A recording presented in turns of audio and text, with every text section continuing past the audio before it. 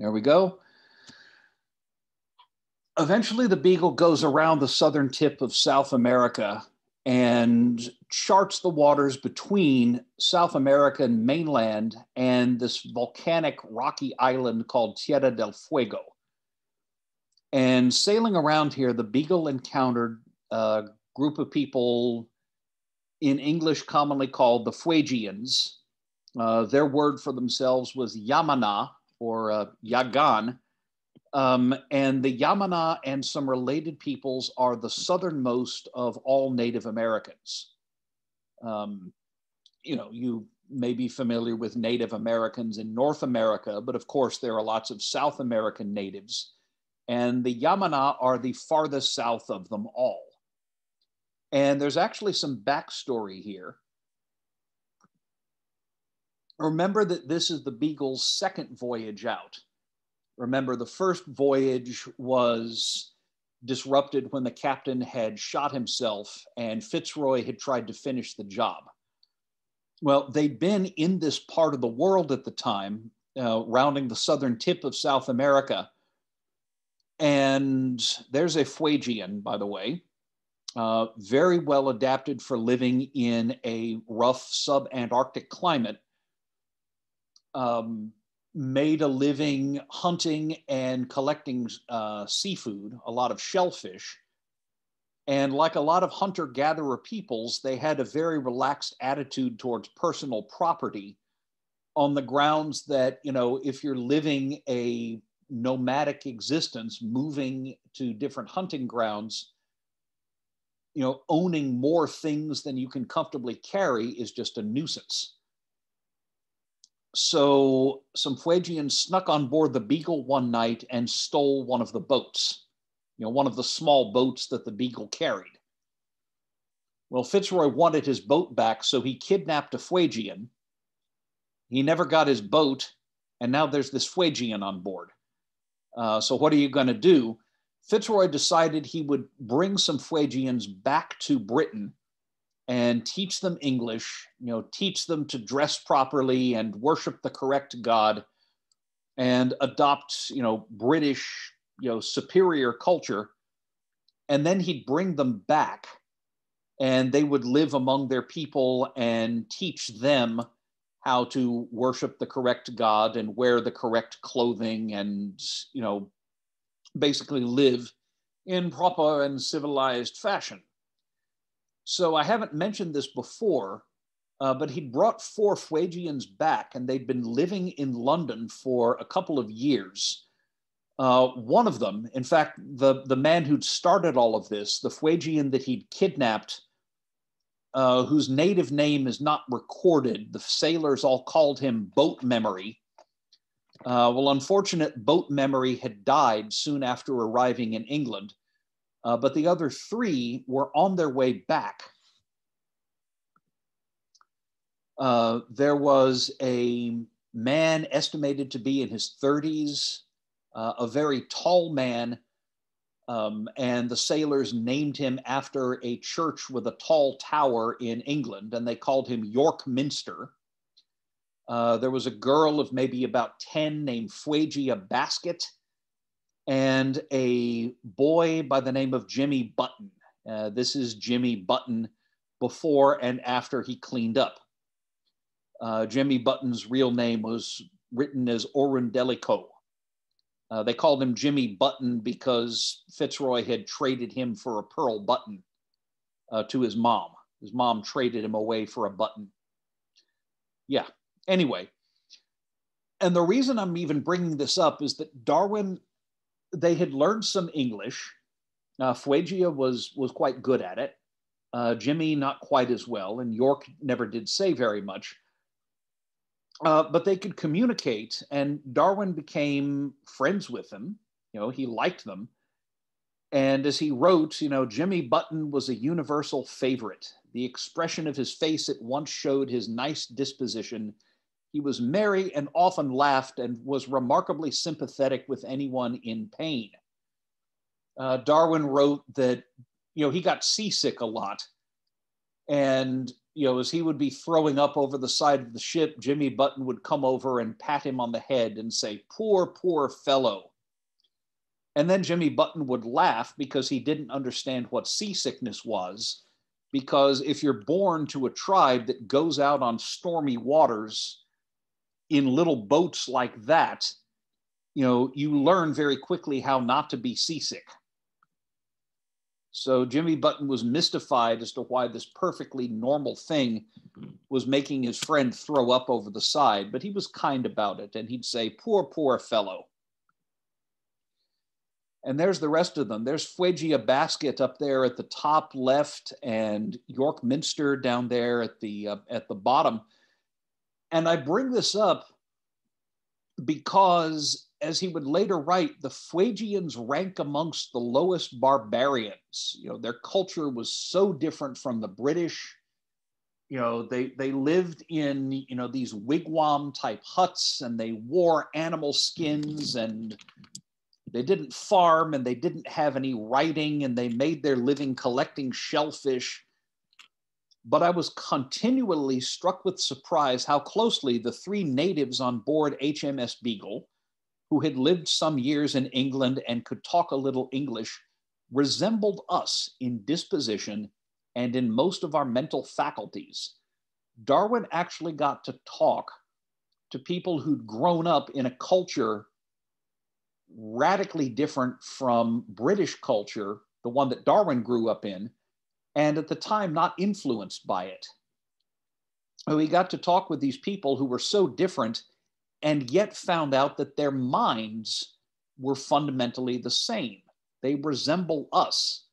These, quote, degraded savages might actually be our kind of people deep down once you got the cultural differences out of the way and you know just got to where you could understand them on a personal basis huh that's important that will be important in the development of darwin's thinking and it is considerably more enlightened than a number of people I could mention at the time. Anyway, they dropped off the Fuegians. They also dropped off a missionary they'd been taking who was going to settle on Tierra del Fuego and teach the, uh, the, the Fuegians uh, Christianity. Uh, they had to pick up the missionary because the Fuegians probably took everything he had and then threatened to kill him. So he ended up uh, leaving almost as quickly as he came. And the Fuegians immediately shucked their European clothes and went right back to their traditional ways. Uh, so that attempt to Christianize the Fuegians didn't end in failure, but it's important for what Darwin learned about people. Anyway, they sailed up the coast of Chile and reached a town called Concepcion, uh, which had just been sucked by an enormous earthquake. You can see that Concepcion was pretty well destroyed. That's the ruins of the cathedral up there. And Darwin had been reading Lyell.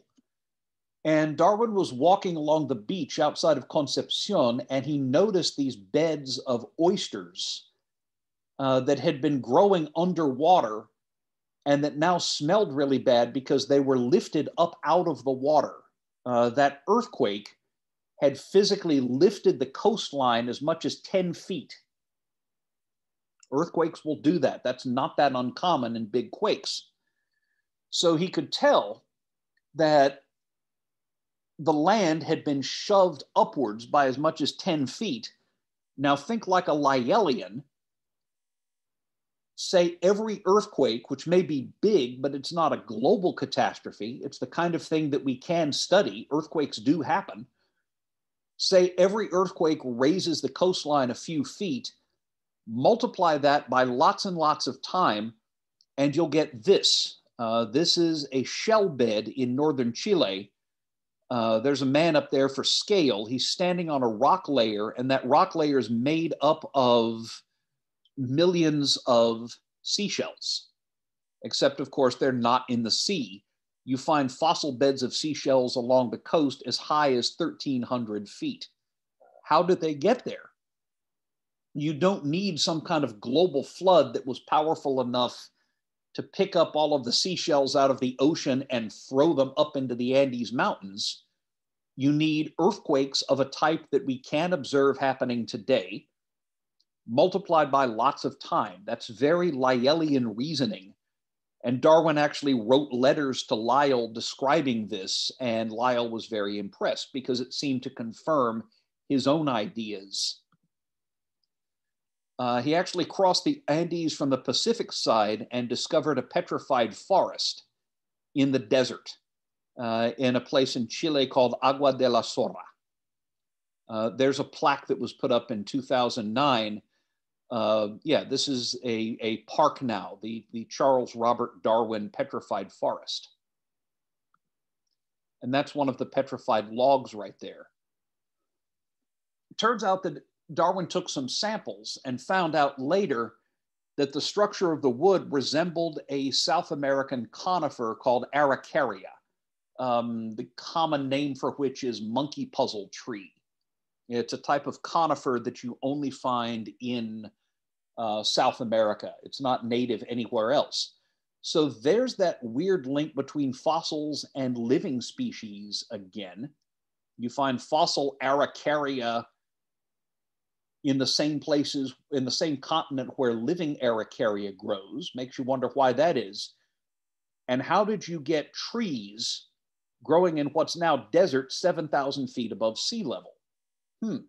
Maybe it's got something to do with that uplift of the South American coasts again. Maybe when the trees were growing, the mountains weren't mountains, or at least not nearly that high, but they've been gradually uplifted over all that time. Huh, worth thinking about. And as he would write, it is hardly possible to doubt that this great elevation has been effected by successive small uprisings, you know, these little risings of the coast, such as that which accompanied or caused the earthquake of this year, and likewise by an insensibly slow rise, which is certainly in progress on some parts of this coast. So very Lyellian there, right? Observable processes multiplied by huge amounts of time, and you can get amazing changes in you know, the features of the Earth.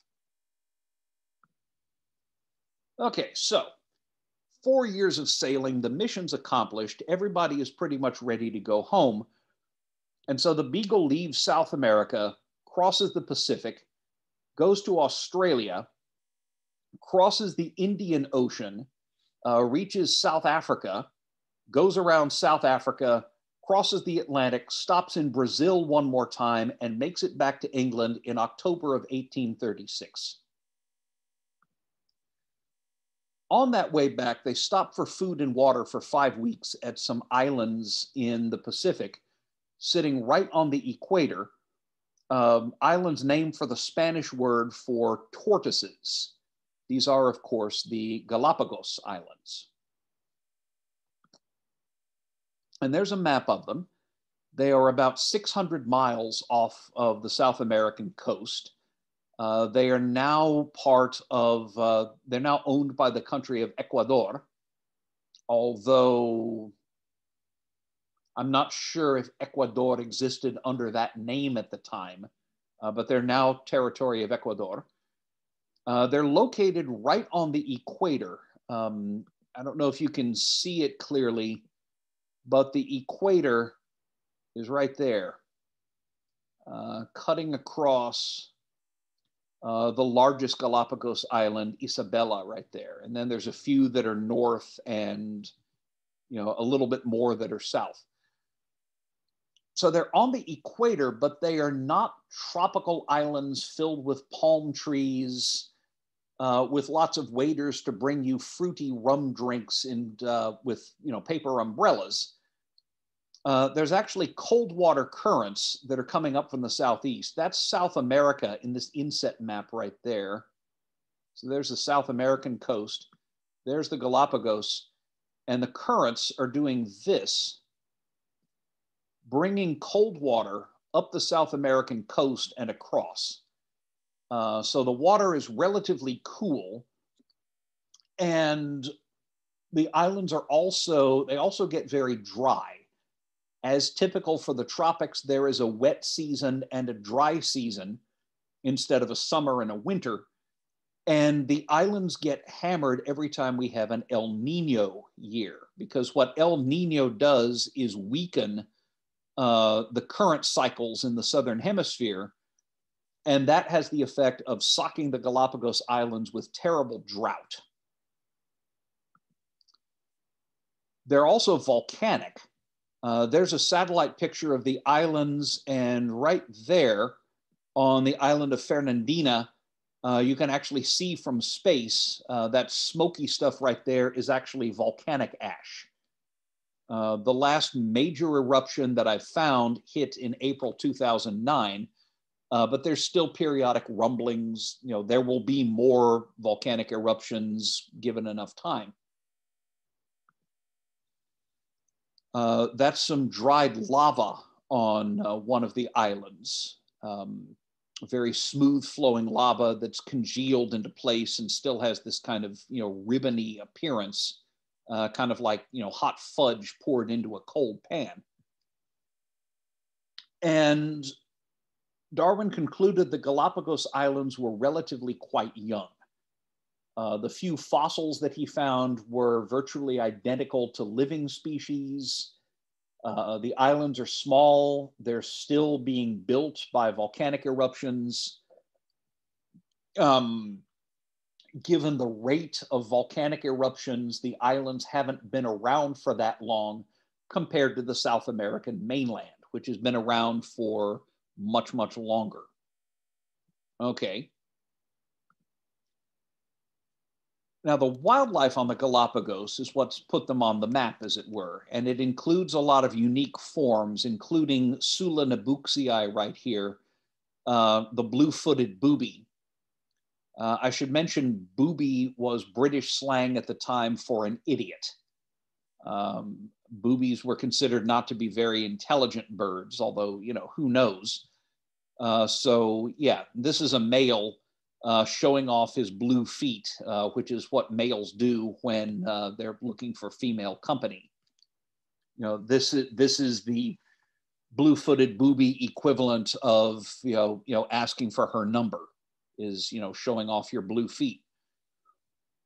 Now, Sula nebouxii is not unique to the Galapagos. Uh, it's a seabird that can fly for long distances. So you get them, you know, on the coast of South and Central America, but there's a lot of species in the Galapagos that are unique. Uh, there's the Galapagos gull. It resembles other New World gulls, but it's different enough that we call it a separate species. This is Leucophaeus fuliginosus, and it's only found in the Galapagos.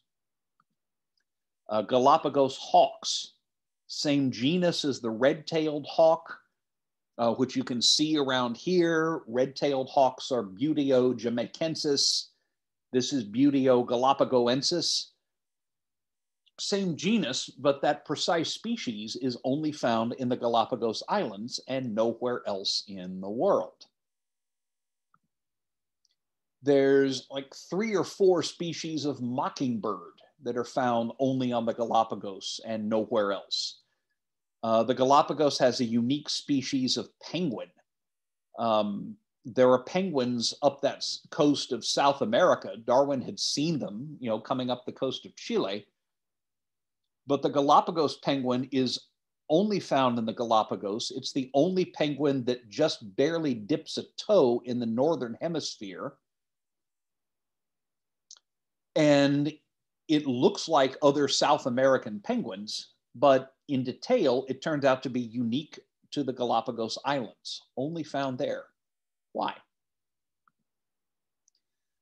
Um, Central and South America is gifted with a diverse number of species of iguana. But there's two unique iguana species living in the Galapagos. Uh, not only do they physically not look like other iguanas, they've got this bizarre lifestyle uh, where they'll come out on rocks and bask, you know, to warm up their body temperature. They'll sit there in the sun. And then they'll jump off the rocks into the cold ocean water and swim around and stuff their faces with seaweed. And then when they get chilled, they climb back out, out on the rocks, warm up, wash, rinse, and repeat. And that's unique to the Galapagos Islands. I don't, there aren't a whole lot of seagoing lizards. This is one of the few. Uh, you get prickly pear cactus in North and South America, but there's six unique species of prickly pear in the Galapagos, including some species that form trees. What the heck are these guys doing here? Notice the pattern. The Galapagos wildlife is very similar to what you'd find in mainland South America or sometimes North America. And yet, when you look at it close up, it turns out to be unique. Why do you get that pattern of similarity and difference? The Galapagos got their name from Geochelone elephantopus, the Galapagos tortoise. Um, now, this is the same genus as a tortoise I used to see now again in the Mojave Desert in southern Nevada and southeastern California, um, a tortoise called the gopher tortoise. But clearly, they're not the same because the gopher tortoise is maybe a foot long tops, and the Galapagos tortoises are big enough that you could ride them. Uh, in fact, Darwin tried this. He reported sitting on top of a Galapagos tortoise, uh, mostly to see what would happen. And the tortoise basically just, you know, turned its head around and glared at him and groaned at him. And just sat there and went, so you, you don't get very far riding Galapagos tortoises, I'm afraid. Why does this matter? Darwin had dinner with the governor of the Galapagos Islands, this guy who was in charge of a colony of maybe a hundred, you know, castaway sailors and random riffraff. And the Galapagos tortoises are edible, which is also why they're critically endangered now. And the governor just happened to mention, because evidently, because he got really bored and the governor happened to mention that he could tell which island, and in some cases, which part of each island every tortoise had come from simply by looking at the shell. And so Darwin found it was true. Every island, and sometimes this is Isabella, the largest of the islands, and it's made of five major volcanoes stuck together. And Darwin found that every island and every peak had tortoises with consistently different shapes of shells. Uh, Becki up at the top has a kind of you know saddle shaped extension over the neck, the others don't. Vicina is kind of square and Guntheri is kind of round and Vandenburghi has lots of fine lines and Microphyes doesn't and so on. With a little practice, you could easily learn to tell these apart. So we have tortoises living on each one of these volcanoes. Uh, I should mention the craters in the volcanoes are where water tends to collect, um, some of it from morning fog and dew, and some of it from the rainstorms that they do get. Uh, so tortoises like living in these craters because they've got lots of plants they can eat and water they can drink they don't normally cross from one to the other, you know, because they'd have to cross basically, you know, desert badlands to get there. And so each one of these peaks has an isolated population, and each of those populations has a different shell shape. And so it is with the other tortoises on the other islands. The other really famous Galapagos wildlife is the Galapagos finches, uh, which Darwin collected and taxidermied. Uh, thank you, John Edmonstone. But didn't really understand what he had until he got to show his specimens to a British bird specialist named John Gould uh, once he was back in England there's 14 species of finch in the Galapagos. Finches are seed eating birds. Um, even if you haven't had ornithology with Dr. McDonald, uh, you know a finch. Uh, cardinals are finches. Uh, you might know purple finches as well if you've done a little birding around here. And there's 14 species of finch in the Galapagos, and this is one of them, the small ground finch, Geospiza fuliginosa. Different species are found on different islands, although they do overlap. You don't have species of finch restricted to single islands. But what's more, each species has a distinctive way of life, and each is adapted to that way of life. And you can see it in their beaks. The small ground finch, small beak, great for picking up and manipulating small seeds, right? Very, very good with handling small seeds, but can't exert a lot of bite force. Large ground finch, great big beak, not so good for manipulating tiny seeds, but very good at cracking big ones. The cactus finch over here, Geospiza scandens, long, narrow beak, very good if you're making a living hopping around on prickly pear cactus and probing uh, for seeds and fruits, right? You want a nice long beak. These are often compared to tools. So the cactus finch has the closest thing to needle nose pliers and the ground finch has something like big, you know, linesman's pliers uh, that can exert more bite force, but isn't as good for delicate things. So each finch species has a different diet. Um, each species shows adaptations to that diet in the beak. They're all finches. They all share a common structure. Uh, they're all roughly the same size, certainly the same organs and things like that. And yet they've got these diverse adaptations to very different lifestyles uh, the most obvious places to see those are in beak shape. So here again, we've got the small beaked ground finch with its little beak, and there's the large beaked ground finch with a much bigger beak. Oh, the woodpecker finch, uh, Cactospiza pallida, uh, probes around in rotten wood uh, for insects and uh, is actually a tool user. It will take twigs and use it use those to probe in rotting wood, which is what this one is doing in that picture. Although my personal favorite, the vampire finch, has a very sharp beak and specializes in hopping up to nesting seabirds and pecking them in the butts and drinking their blood, which reminds me of a dean we used to have in this college. Uh, he was also prone to sneak up from your beh- from behind and stab you and drink your blood. Never mind, water under the bridge. But yeah, all these finches are adapted to different ways of life. What are they doing only in the Galapagos? They're similar to finches called grassquits that you could find on the South American mainland, and yet they're not the same. Why are they different? As Darwin wrote, seeing this gradation and diversity of structure in one small, intimately related group of birds, one might really fancy that from an original paucity of birds in this archipelago, meaning an original small number of birds in this group of islands, one species had been taken and modified for different ends. It was almost like these birds were the way they were because they came from a common ancestor. Huh. I have to think about that for a while. So the beagle left the Galapagos, crossed the Pacific, uh, visited Australia for a while.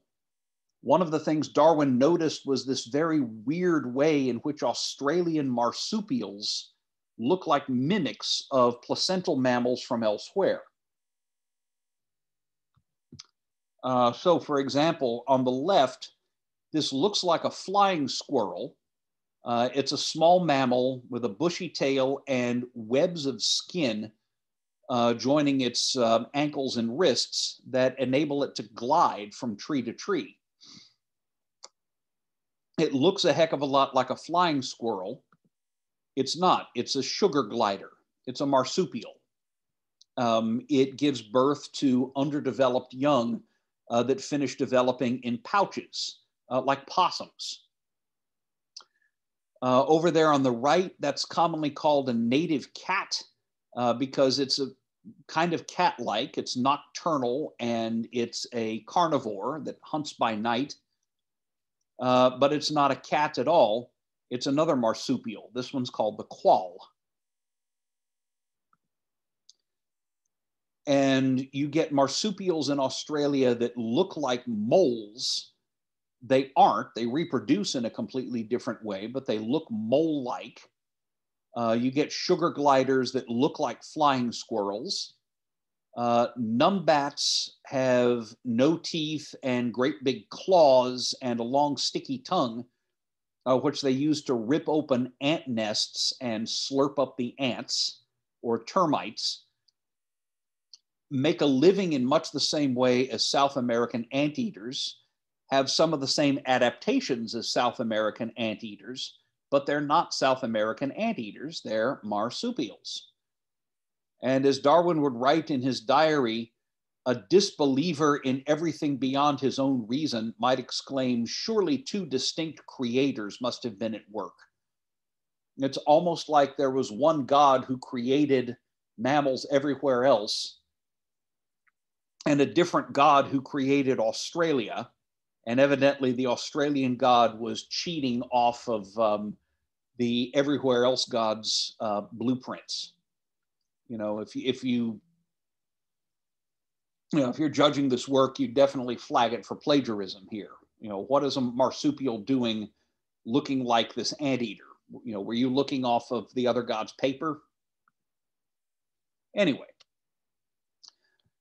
we'll actually talk again much much later about why that happened as well, um, about why Australia got such unique mammals. So the Beagle crosses the Indian Ocean. They explore some coral islands called atolls, uh, which are shaped like rings. Uh, that's an atoll as seen from a satellite. You have this ring of coral rock surrounding a shallow lagoon, while on the outside, the uh, ocean can drop down 20,000 feet. And Darwin came up with a very Lyellian theory for why you got ring shaped coral islands in the tropics. Uh, they must have formed growing with the coral growing on the flanks of volcanoes. And then, as the extinct volcanoes slowly sank down, coral reefs on their flanks slowly grew upwards, keeping a balance. And so you end up with a ring shaped island. Uh, he would publish this in 1842. Um, his explanation was basically correct, but they didn't confirm it until the 1950s uh, when the US began using some of these coral atolls for atomic bomb tests. Uh, that was the first time anybody drilled really deeply into one of these islands. And they found out that the structure is basically right. That you'd start with a volcano in the middle what the heck? There's your volcano. There, there's smoke. And on the flanks of the volcano, all of this is coral. And coral tends to grow up. So if the volcano sinks down, the coral will grow upwards. And you end up with a ring shaped island with a lagoon in the middle. And again, he turned out to be basically right about this. So the Beagle goes around Africa. They sail back up the Atlantic, stop off in Brazil one more time, and return to England on October 2nd, uh, 1836. Uh, Darwin went to live in London for a while, uh, but then purchased a house that at the time was in a little village. It's now been engulfed. It's now in London. It's maintained as a museum. It's called Down House. And Darwin lived here until he died in 1883. And uh, then his wife lived here until she died in 1896. And that's actually a pretty good place to pause. It's noon. I should keep going until 8:10, but I guess I'm feeling merciful. I'll try to make it up to you. Uh, tomorrow, uh, it's the uh, uh, tomorrow it's the same drill. Oh, I need to stop recording. And I'll stop recording now.